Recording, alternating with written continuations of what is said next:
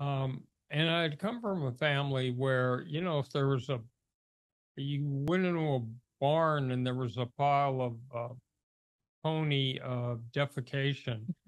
There must be a pony in there somewhere.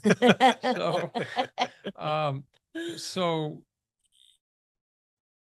I, I heard in that unique fellowship, uh, uh, messages of hope that life could be better. Mm. And even though it seemed uh, dark and foreboding, um, y- I just had to keep plugging. And and I realized in this time that I had told people so many times that it'd be different this time. This time I understood. This time I had it. And it wasn't purposeful lying. It was just that um, uh, my brain had changed and I, uh, and the cravings were so strong.